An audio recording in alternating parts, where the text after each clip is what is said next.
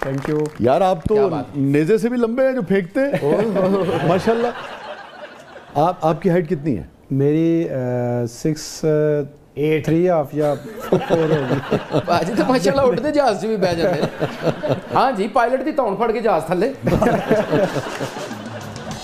और वो जो थ्रो करते हैं आप वो कितना उसका साइज होता है जैवलिन का जो साइज़ है वो तकरीबन नौ फुट के करीब होता है नौ फुट के करीब ठीक है और आप तो हुए फिर कोई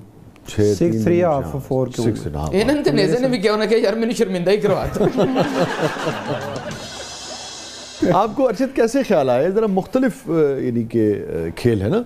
और उस तरह से हमारे पास वसाइल भी नहीं है मैदान में जाके तो आप नहीं कर सकते।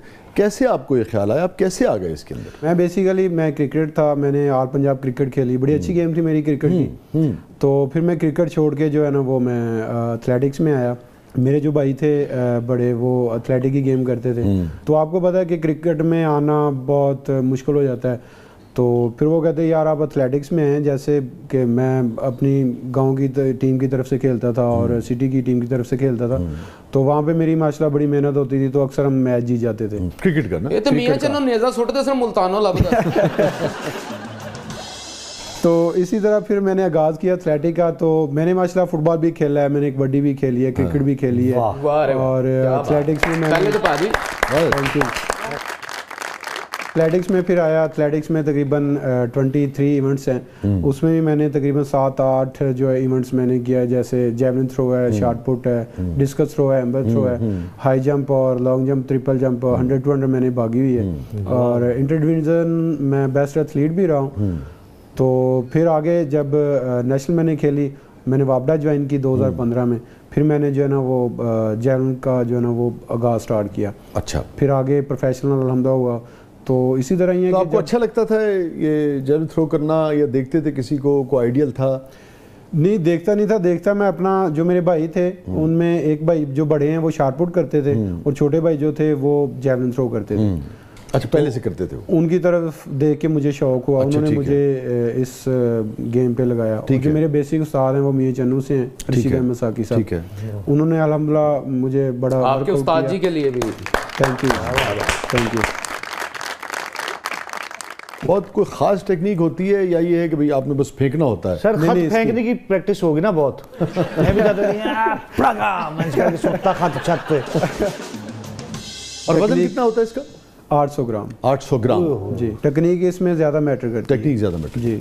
और आप जब लास्ट टाइम गए थे ओलंपिक्स में तो आप डायरेक्ट ओलंपियन थे। आ, मैं डायरेक्ट क्वालिफाई मैंने किया था टोक्यो हाँ, ओलंपिक्स हुई थी हाँ, जापान में। ठीक है। तो उस लिए मैं पहला कि डायरेक्ट ओलंपियन में और वैसे ओलंपियन में क्या फ़र्क होता है? वो इस तरह होता है डायरेक्ट ओलंपियन ही कहलाते हैं ना? जी जी मैं डायरेक्ट क्वालिफाई करके गया सर तो मैं तो 10 मिनट डायरेक्ट ओलंपियन के ਹੁੰਦਾ ਹੈ तो पाकिस्तान में आकर के प्लांग बूटी थे टोक्यो डायरेक्ट ओलंपियन इसमें बहुत वर्क करना पड़ता है अ, ये नहीं कि आपने छलांग लगाई तो पहुंच गया सॉरी आपकी मैं बात कर रहा हूँ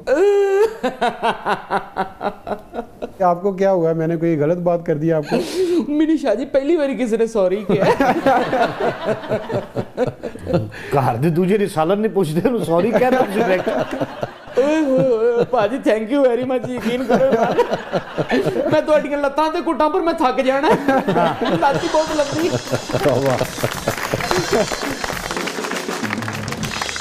वो आप बता रहे थे कि डायरेक्ट जो क्वालिफाई करता है उसका एक टारगेट होता है हर इवेंट का ठीक है। जैसे कि जैवलिन थ्रो का उन्होंने एक टारगेट दिया हुआ है कि आपने 85 मीटर करना है तो आप 85 direct- मीटर जी तो आप डायरेक्ट जो है ना वो क्वालिफाई कर जाएँगे।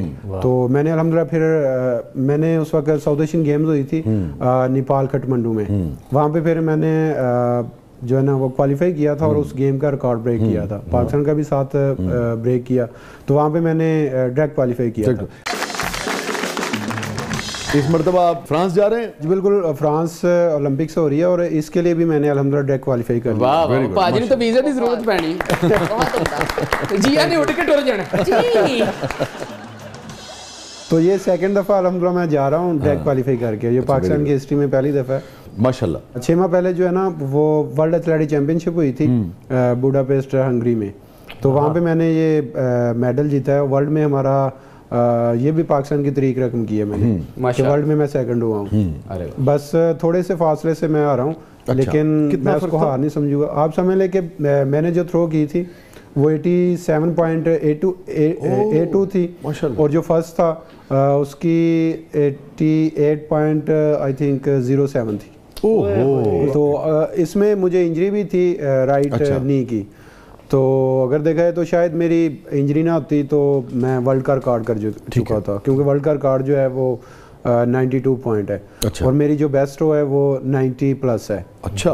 तो 90 प्लस जी। ग्रेट वर्ल्ड एथलेटिक चैंपियनशिप से पहले एशियन चैंपियनशिप हुई थी थाईलैंड में। और इस वक्त जो वर्ल्ड रिकॉर्ड है वो क्या है? वर्ल्ड रिकॉर्ड वो 98 है। 98 98.48 और है। वो किस मुल्क के वो चेक रिपब्लिक के हैं जॉन्स लेजनी उनका रिकॉर्ड है। चेक जी। और, किस किस्म की ट्रेनिंग आप करते हैं?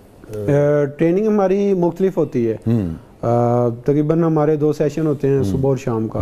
ढाई से तीन घंटे सुबह हम करते हैं। अगर सुबह हमने अगर ढाई से तीन घंटे नहीं किए तो शाम को करेंगे।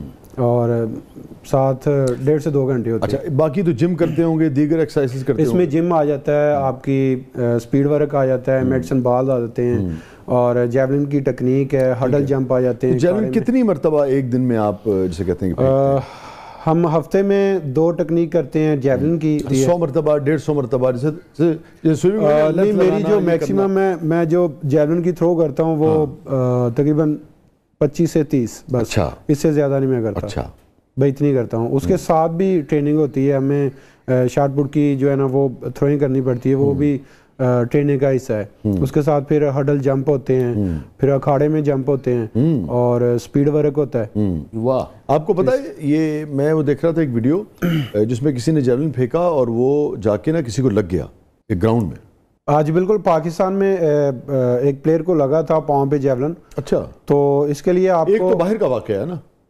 नहीं ये मैं पाकिस्तान का बता रहा हूँ। अच्छा पाकिस्तान का अच्छा पाकिस्तान में भी हुआ पाकिस्तान में भी ऐसा हुआ अच्छा। है इसके लिए आपको तकरीबन जो ग्राउंड की ज़रूरत पड़ती है वो 110-20 मीटर हो। हाँ कम से ताकि नब्बे तक रेंज जो है। रेंज इतनी होनी अच्छा आप कह चाहिए रहे हैं कि मैक्सिमम वैसे तो 150 होना चाहिए ल- लंबाई में और चौड़ाई में भी। ठीक है। तो इसके लिए भी आपको ग्राउंड जो है ना वो क्लियर करना पड़ता है ताकि किसी सूरत भी नेजा दाएँ बाएँ दाएँ बाएँ जा सकता है। ठीक है। तो लग सकता है। हम्म। तो इसी तरह पाकिस्तान में भी एक तो जिस वाकई का आप ज़िक्र कर रहे हैं वो अपने पाँव पे लग गया था उनके ये थ्रो किया नहीं उसने थ्रो किया था हाँ। आगे से प्लेयर था वो भी प्लेयर था वो भी हाँ। जेवलिन थ्रोअर था। अच्छा तो वो क्या आगे से गुजर रहा था तो उसको लगा से गुजर? उसे नहीं पता था कि ट्रेनिंग हो रही है। बस वो ऐसी है कि वो भी कह रहा है कि मैं भी जेवलिन थ्रोअर हूँ। वो हम्म। कहता अपनी चीज़ अपने पे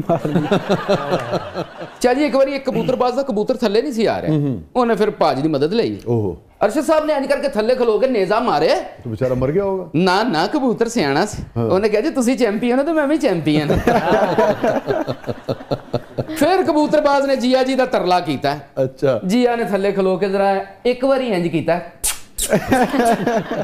ਕਬੂਤਰ ਸੀ ਠਰਕੀ ਉਹ ਦੋਸਤਾਂ ਸਮੇਤ ਥੱਲੇ क्या ਜੀਆ ਦੇ ਕੋਲ ਆ ਕੇ ਸਾਰੇ ਕਬੂਤਰ ਗੁਟਕੂ ਗੁਟਕੂ ਗੁਟਕੂ ਗੁਟਕੂ ਗੁਟਕੂ ਗੁਟਕੂ आपने तो हम दोनों को फेल कर दिया मुझे भी और कबूतर को भी तो चैंपियन आपने जिया को बना दिया जिनको जेवलिन के बारे में शायद पता ना हो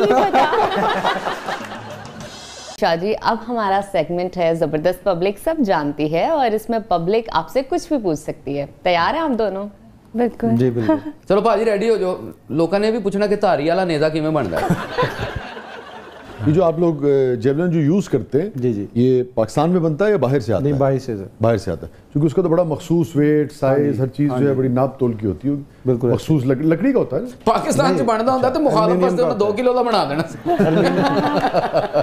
ये एल्युमिनियम का होता है एल्युमिनियम का होता है जब आप प्रैक्टिस करते हैं तो हैवी उससे करते हैं नहीं उसी वेट के साथ। उसी वेट के साथ। हाँ जी। हवा किस तरफ़ की है मौसम कैसा है उसके भी असरात होते हैं रिज़ल्ट पे या ये कि नहीं ऐसा नहीं होता? नहीं उसमें हवा भी काउंट करती है अगर आगे से हो तो ज़्यादा प्रॉब्लम बनती है। ठीक है। फिर आपको उसी हिसाब से हवा के हिसाब से आपको एंगल देना पड़ता है तो फिर जेवलिन जाता है। मौसम के असरात इतने नहीं आते कि आपका रिज़ल्ट जो है वो बदल जाए ऐसा नहीं है इस खेल में। मे भी आप कह सकते हैं कि जैसे अभी मैंने 90 मीटर थ्रो की है तो मैंने मेहनत बहुत ज़्यादा की है। अगर हवा का दबाव ज़्यादा है। ठीक है। तो आप अगर आपकी किस्मत में गोल्ड लिखा है तो आपको 90 पे नहीं मिलेगा 80 पे मिल जाएगा। अच्छा, ये हो सकता है। सभी जो कि सबको ही वो फेस करना पड़ रहा है। जी वो सब सब भी फेस करते मगर ये भी तो होता है ना बात कि जिस पैच में आपने किया उसमें हवा का दबाव आपके मुखालिफ है दूसरे ने किया तो नहीं है हवा। हाँ इसमें ये भी हो सकता है लेकिन एक आम रूटीन में हवा चल रही है तो उसमें तो सबके लिए तो हो जाता है। हाँ। तो बाज़ कर ऐसे होता है कि फिर वहाँ पे फिर लकी होती है वो अल्लाह ताला जिसको भी दे दे।